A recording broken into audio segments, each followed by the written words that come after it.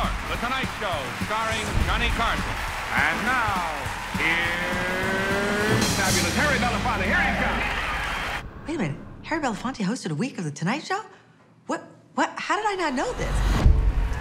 Harry Belafonte takes an existing white institution and he turns it into something that represents his world.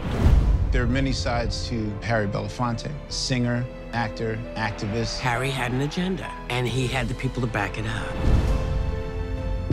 What do you have in store for us this summer?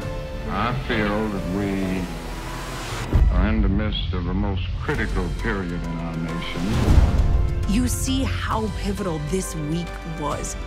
That was the most revolutionary move that mainstream television could have done at the time.